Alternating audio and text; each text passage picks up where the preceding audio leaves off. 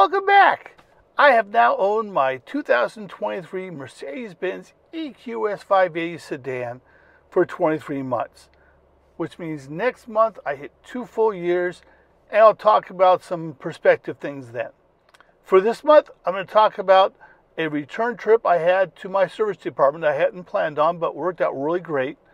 I'm going to show you one more new of my digital lights that Mercedes has provided for me.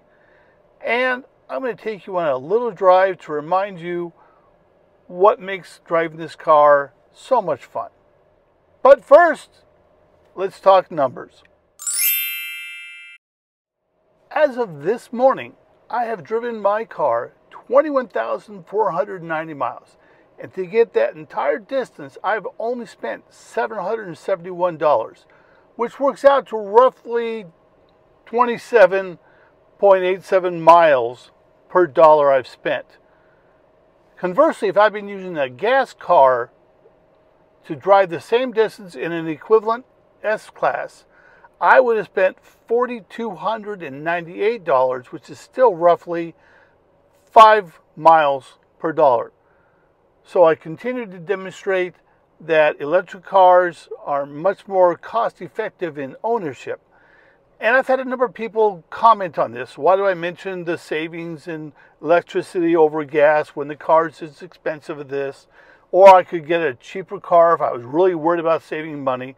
And the fact is, I'm not stressing the fact that I'm saving money just to show you that I'm saving a little bit of money on a much more expensive car. What I'm trying to do is as many countries are moving towards electricity, I'm trying to give you one of the benefits of that movement, and that is the day-to-day running operations will be significantly less. So I don't share the dollar savings to say that I'm thrilled with the pennies I'm saving. I'm trying to give everyone who's listening a chance to get a little bit of insight into as we move forward and more hybrid cars and more electric cars become dominant and the market infrastructure starts catching up, you'll be saving money on a daily, if not daily, weekly, monthly basis by using electricity over using gas. And that's why I do this. So now let's get to our topics. We start by talking about my return trip to the service department. As you recall, I had my 20,000 mile checkup done just a month or so ago, and they did some great things, but my Apple CarPlay still wasn't working.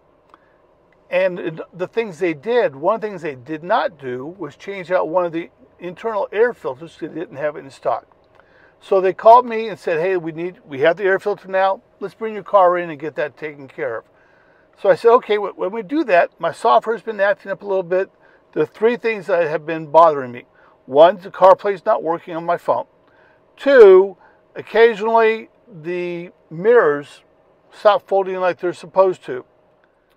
And three, my pre-entry climate control had shut itself down. It wasn't coming back on. And so I wanted them to take a look at that. And so as they had been working on it, I came in and the guy said, You talked about three things and let me show you something. So for each of those three topics, he showed me a piece of paper that said there had been a software challenge identified and fixed, and they were updating the car. So he took all three of my complaints, demonstrated to me that Mercedes was aware of it, had an update for it, and so he updated the car. And sure enough, since then, my mirrors haven't turned themselves off from folding in. My entry control has worked just like it's supposed to. But when I picked up the car, I had the mechanic sit with me because my CarPlay still was not working wirelessly. And so I had a young man sit with me, and we, for half an hour to 45 minutes, we fought with the car to synchronize my phone and to get it to work, and everything looked like it was syncing just fine, but it never did. And so we had him try his phone, and right away it worked, and it wirelessly did the CarPlay. And so he did some looking up, and we discovered that I have an Apple iPhone 15. He has an iPhone 11. And he looked up through their little notes that iPhone 15s have been having a problem with wireless CarPlay with the latest software patch. So he's looking it up, seeing what he can do for it. But at least I understand now that it's a specific problem to my style of phone, the 15, as opposed to all Apple CarPlays aren't working. And so while they're trying to figure that out, I'll use the cable. But I'm glad I at least have an idea of exactly what the problem is.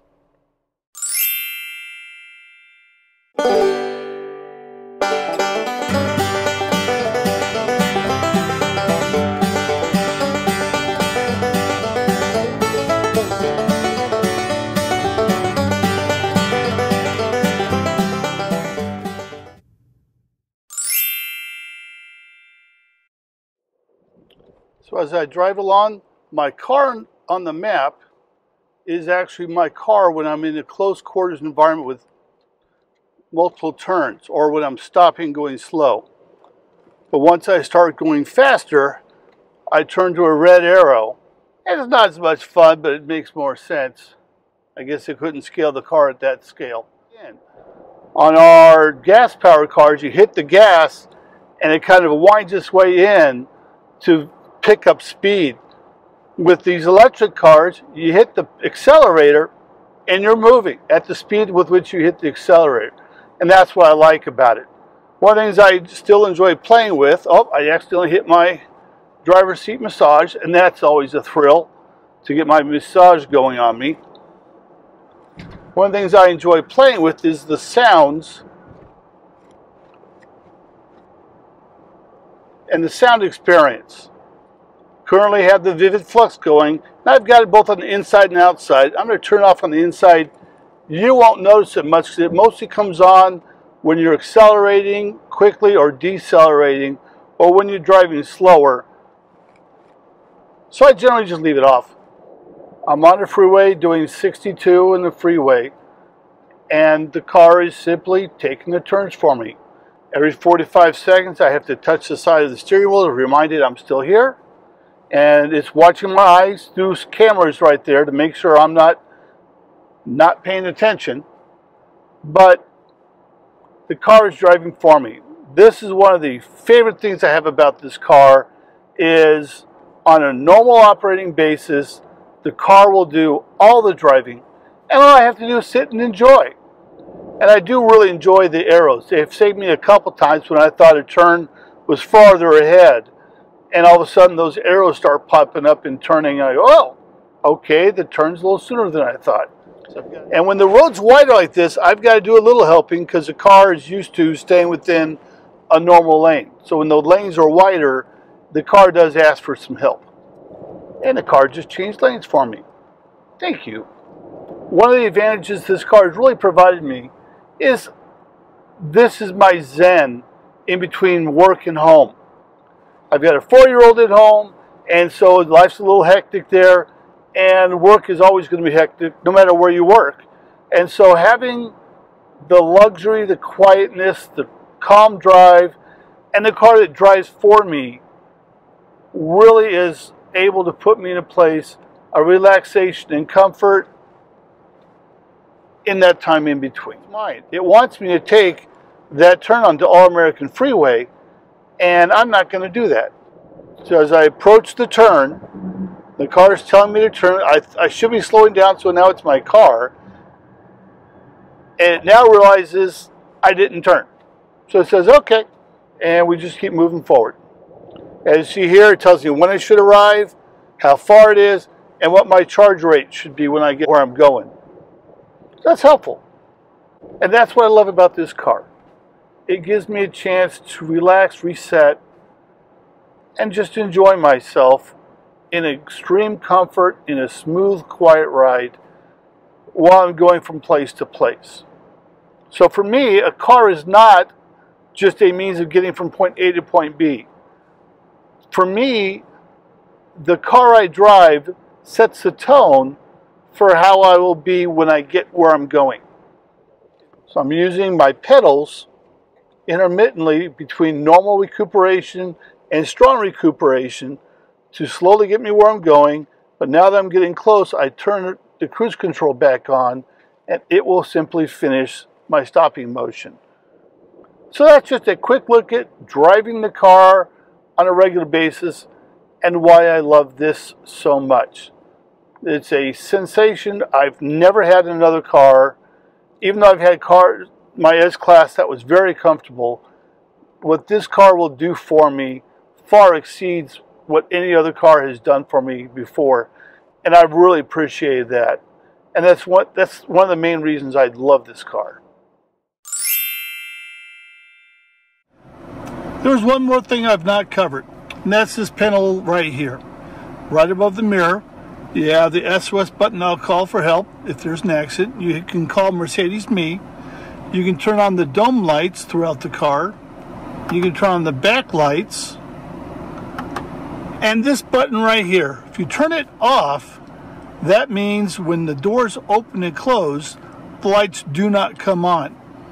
You turn it back off the way it's supposed to be. You open the doors, lights come on and come off.